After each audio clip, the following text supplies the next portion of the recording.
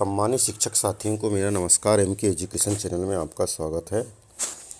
आइए साथियों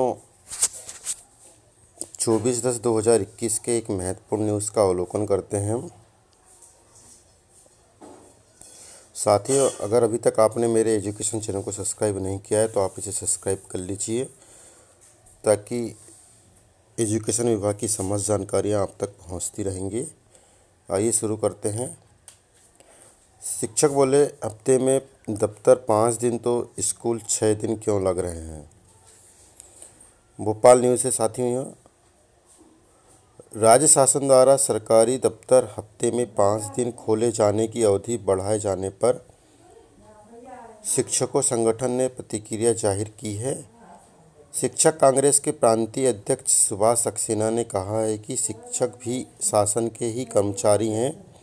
five day week संबंधी आदेश जारी कर इसकी अवधि इकतीस मार्च तक बढ़ा दी गई है।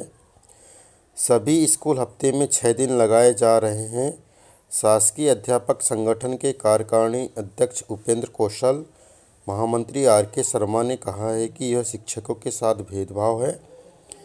शासन को इस बारे में जल्द ही कोई निर्णय लेना चाहिए। साथियों, देखना है कि कितने जल्दी इस आदेश में क्या संशोधन होगा? एवं जो स्कूल हैं, वे भी क्या सप्ताह में पाँच दिन लगेंगे?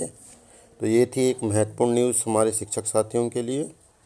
धन्यवाद।